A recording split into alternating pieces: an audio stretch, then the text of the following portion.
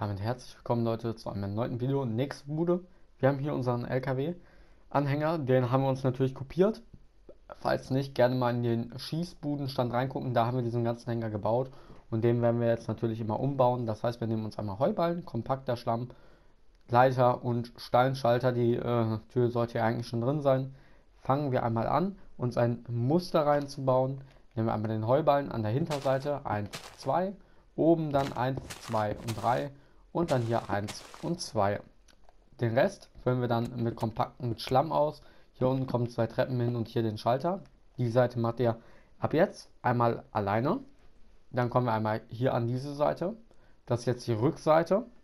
Dann haben wir ja hier schon einmal zwei Stück. Dann setzen wir hier unten 1, 2, 3, 4, 5 und 6. Und vor den letzten beiden nochmal einen drauf. Hier oben nochmal einen hin und hier kommt dann nochmal was anderes rein. Das machen wir gleich. Der Rest kompakte Sch äh, Schlamm. Dann gehen wir einmal hier an diese rechte Seite hinten. Da setzen wir jetzt einmal hier so ein Muster hin, dass immer so einer frei ist, mäßig und dann immer so halt ein kariertes Feld entsteht. Das sieht dann so aus. Und dann kommen wir jetzt noch zu dieser Seite. Hier machen wir das gleiche Muster auch nochmal. Also hier so ein kariertes Muster und der Rest dann mit kompaktem Schlamm. Und dann würde ich sagen, so machen wir das erstmal hier. Jetzt gehen wir noch hier an die Seite, vorne, das ist jetzt vorne. Da haben wir jetzt hier oben, dann machen wir auch hier wieder einen hin, hier einen hin, dann hier, hier unten nochmal und hier nochmal und hier nochmal, dass wir dieses Muster hier haben. Und äh, genau, dann gucke ich nochmal kurz äh, rechts, wie das da ist. Dann gehen wir hier noch rechts vorne hin. Hier haben wir jetzt diese hier, dann hier unten 1, 2, 3, 4, 5, 6. Vor den letzten wieder zwei drauf. Und dann wird hier wieder unser Muster reinkommen. Das zeige ich euch jetzt sofort. Und dann sieht es erstmal so aus. Und dann füllt ihr erstmal alles mit kompaktem Schlamm. So sieht das Ganze jetzt aus. Jetzt nehmen wir einmal hier braune glasierte Keramik. Hier rechts einmal das Feld, was wir jetzt hier haben zwischen den Heuballen. Einmal hier ne, einen freilassen. Rechts wie unten und oben und dann hier so ein 3x3 oder ein 3x2 eher gesagt. Auf der anderen Seite machen wir das gleiche auch nochmal. Einfach in eine Richtung gebaut. Da haben wir ein kleines Muster drin. Dann nehmen wir uns einmal Fichtenstufe. Die bauen wir jetzt einmal komplett oben rum. So. Zack, zack.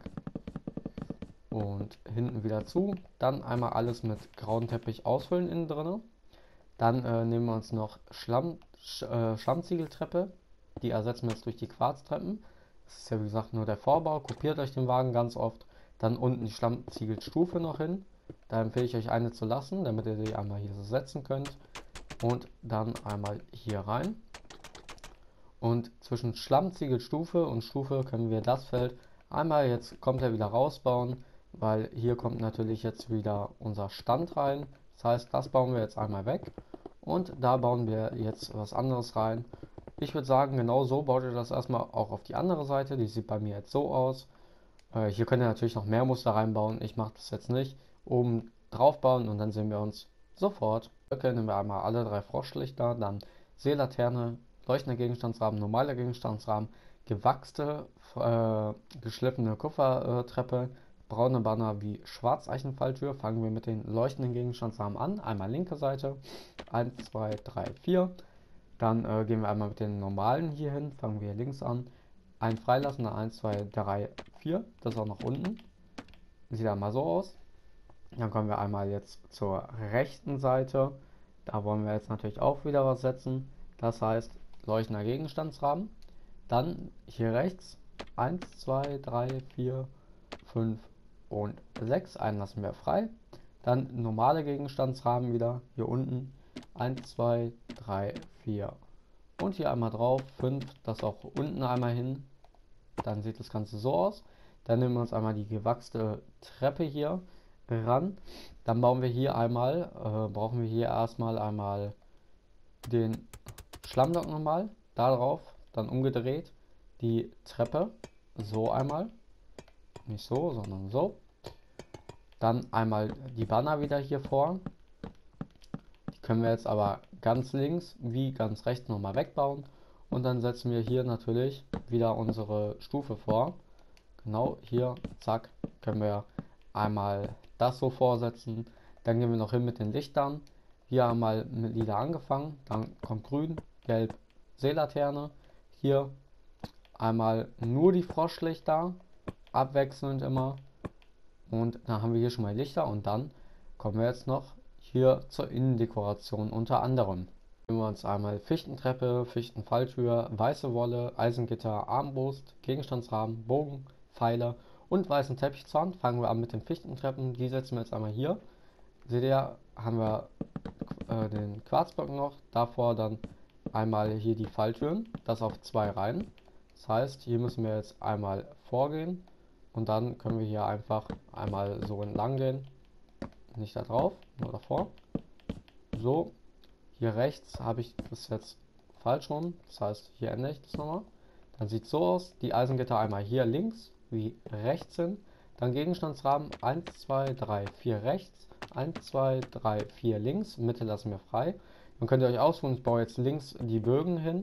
Einmal immer, dass sie so aussehen. Dann baue ich noch hier rechts die Armbrüste hin. Auch wieder so nach oben. Also ihr seht schon, das wird hier so ein Bogenstand mäßig. Dann gehen wir einmal von innen, Gegenstandsrahmen hier vor. Und da haben wir jetzt überall einfach die Pfeile einmal rein, so dass wir die von innen an die Leute geben können. Und dann weißen Teppich, zwei Reihen, komplett durchbauen einmal, bis am Ende.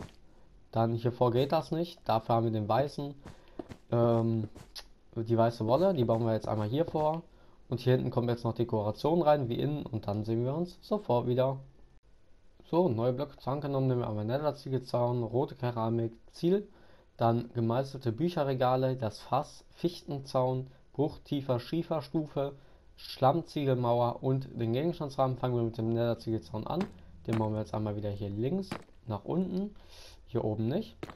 So, genau hier ab dieser Tür, zwei nach unten. Dann gehen wir einmal weiter, gehen wir einmal in den Innenraum und fangen an mit dem gemeißelten Bücherregal. Da setzen wir jetzt einmal hier an der Wand zwei Reihen hin. Nach der zweiten Reihe kommen jetzt einmal die Fässer so längst gesetzt. Äh, genau so. Ähm, da muss ich sofort einmal gucken, wie viele wir machen. Das sieht nämlich jetzt von der Rückwand. Okay. Äh, machen wir erst, machen wir fünf Stück. Dann einmal die Fässer so rum, dass die Öffnung da ist. Und vor die Fässer setzen wir uns jetzt einmal Gegenstandsrahmen. Da sind dann so quasi die Sachen drin und dann kann man so in der Kiste zugreifen auf diese Gegenstände, wenn die Leute die Zeit gewonnen haben. So. Dann bauen wir daneben einmal rote Keramik. Die bauen wir jetzt auch unten hin. Dann hier hinten gucken wir einmal. Da brauchen wir jetzt einmal nochmal die Bücherregale. Da setzen wir jetzt an die vier Stück hin. Das heißt 1, 2, 3, 4. Einmal nach oben. Bis hier geht dann die rote Keramik. Da drinnen das Ziel dann einfach. Oben wie unten. So.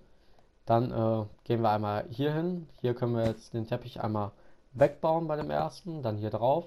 Und hier hinten können wir den Teppich auch einmal weghauen. Hier müssen wir jetzt einmal versetzt nach oben, drei Stück nochmal. Mit den Stufen. Sieht dann so aus. So, die ganzen Gegenstandsrahmen und so richtig einmal ein. Und dann zeige ich euch die. Wir brauchen aber noch den Fichtenzaun. Und zwar hier in der Mitte, zweimal nach oben. Dann sieht das Ganze jetzt so aus und dann zeige ich euch einmal, was ich in die ganzen Rahmen setze. Ihr könnt aber jetzt schon mal hier ähm, einmal den leuchtenden Gegenstandsrahmen nehmen und hier einmal wieder komplett rum die Gegenstandsrahmen setzen und dann seht ihr selber, ne, Farben äh, könnt ihr euch dann ja wieder aussuchen, was ihr reinbaut. Ich baue dann jetzt wieder die Froschlichter rein. So, wir machen das einmal ganz schnell. Zack. Schade.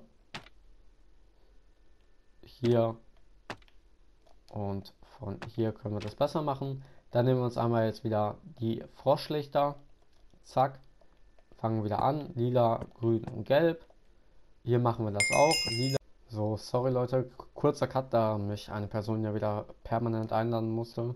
Hobbylosen Menschen, Alter. Ähm, nehmen wir uns einmal Schlammziegelmauer von hier jetzt bis zu dem Dachende einmal entlang ziehen. Das bauen wir auf eine Dreierhöhe. Hier kommt dann die Beschriftung dran. Ne? Bogenschießen oder whatever, was ihr halt draufschreiben wollt. Und dann gehen wir nochmal aufs Dach. So, kommen wir jetzt nochmal zum Dach. Nehmen wir uns einmal glatten, äh, glatter Stein. Einmal hier so vier Stück. Da bauen wir einmal so gekreist Schienen drauf. Hebel links, Hebel ganz rechts. Dazwischen Tageslicht und so. Da haben wir einmal hier so ein kleines Dach. so sieht es jetzt vorne aus. Wir kommen jetzt noch einmal zur vorne Mitte. Ich zeige euch einmal, was ich reingepackt habe. Einmal hier Schildkrötenhelm, dann einmal alle Köpfe beliebig. Hier rechts habe ich einmal ein Namensschild, Rakete, Buch, ein äh, Schlammball müsste es sein, Lohnstab, äh, dann einmal hier Braustand, äh, Mac Macré, äh, irgendeine CD, eine Rose und eine Leine. Genauso habe ich das dahinter hier hingepackt. Also hier sind die dann quasi drin. Und hier habe ich dann die Köpfe nochmal hingepackt, so als ob hier so die Rummelkiste ist und in den Regalen die Köpfe sind oder die Kuscheltiere auf denen. So sehen die Lichter vorne aus. Einmal erst die vier, dann nochmal vier und dann hier erstmal drei. Ähm, genau, kommen wir jetzt noch zum äh, Vorderboden. Da gehen wir dann einmal hin. Da nehmen wir uns jetzt wie äh, vorhin oder wie beim Skistand, nehmen wir uns einmal wieder Andesit und ähm, polierte Andesitstufe und Andesitstufe. Fangen wir einmal an. Gehen wir einmal her. Einmal hier, da wo diese Stütze ist. 1, 2. Dann hier zwei höher. Und hier dann einmal nur so ein Einer. Den ziehen wir jetzt einmal lang. Bis äh, hier vorne. Hier, okay, ja, hier verlängern, ich sehe gerade, hier verlängern wir das noch um einen. Das heißt, noch einen nach hinten. Hier und dann hier so die Stufe hin. Und bis hier an die Andesit, also bis zu diesem Ding an die Andesit. Hier auch. Dann hier wieder Stufe hin auf zweier Ebenen. Dann hier bei dem zweiten ist es schon wieder flach. Also hier bauen wir jetzt nicht so eine große Ablage hin. Ähm, genau, dann haben wir einmal das hier. Das bauen wir jetzt einmal noch hier zwei Stück. Dann hier einmal vor, hoch. Hier nochmal zwei Stück. Und hier einmal noch so vor. Dann haben wir hier einmal so das Podest für den Stand.